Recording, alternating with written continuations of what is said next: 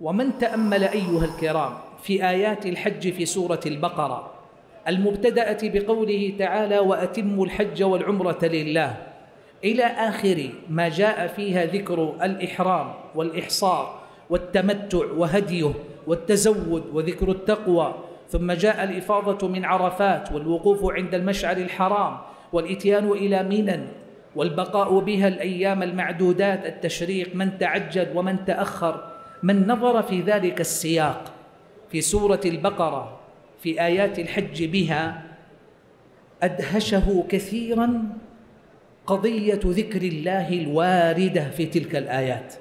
وتأملوا معي لما أمر الله عز وجل الحجيج أن يتبعوا هدى النبي عليه الصلاة والسلام وأن يتموا حجهم وعمرتهم قال وأتموا الحج والعمرة لله. يقف الحجيج بعرفة وهو ركن الحج الأعظم. وليس فيه إلا الدعاء والاستغفار والذكر والبكاء والخضوع والدموع. يوم عرفة يوم يبتهج فيه المسلم لقربه من ربه ويفضي بقلبه وقالبه بظاهره وباطنه. يسأل الله مقبلا على الله. إذا هو يوم عرفة في ذروة التعبد لله عز وجل. وهو أيضا في قمة إقباله على ربه يوم عرفة. لكن انظر إلى الآية الكريمة يقول الله عز وجل فيها فإذا أفضتم من عرفات. يعني إلى أين؟ إلى مزدلفة. يقول فإذا أفضتم من عرفات فاذكروا الله عند المشعر الحرام. طيب هو ماذا كان يصنع في عرفة؟ ماذا كان يفعل؟ أما كان في قمة عبادته وذكره يريد الله منا أن ننتقل من ذكر إلى ذكر. فإذا فرغنا من موضع انتقلنا إلى موضع بدأنا ذكرا نستأنف فيه موضعا لتشهد فيه عبادتنا بذكر الله في حجنا. يقول فإذا أفضتم من عرفات فاذكروا الله عند المشعر الحرام يعني في مزدلفة.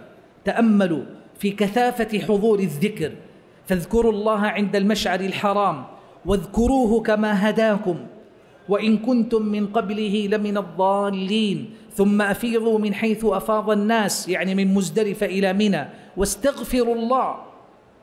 هل كانوا على معصية؟ هل كانوا في مزدلفة يقترفون السيئات ويقعون في الفواحش والآثام؟ هم ما كانوا إلا في صلب العبادة. لكن لتعلم أن رحلة الحج هي رحلة ذكر لله. قال الله عز وجل ثم أفيضوا من حيث أفاض الناس واستغفروا الله إن الله غفور رحيم. هذه عرفة وتلك مزدلفة وملئت ذكرا ودعاء وابتهالا وتوجها وسؤالا. يقول الله عز وجل بعد ذلك فإذا قضيتم مناسككم انتهى يوم التاسع ويوم العاشر بالرمي والنحر والطواف والسعي والحلق. فإذا قضيتم مناسككم وعدتم إلى منى للمبيت بها أيام التشريق ورمي الجمرات؟ قال فإذا قضيتم مناسككم فاذكروا الله كذكركم آباءكم أو أشد ذكرا.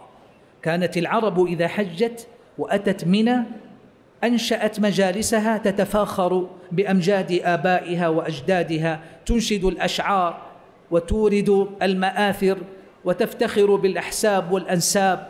قال الله في الإسلام اجعلوا مكان ذلك ذكرا عظيما. فإذا قضيتم مناسككم فاذكروا الله كذكركم آباءكم يعني في الجاهلية أو أشد ذكرا. ما الذي تجدونه في السياق؟ أن الحج من أوله إلى آخره ما هو إلا كثرة ذكر لله. وهنا تفهم الآية الكريمة ليشهدوا منافع لهم ويذكروا اسم الله في أيام معلومات.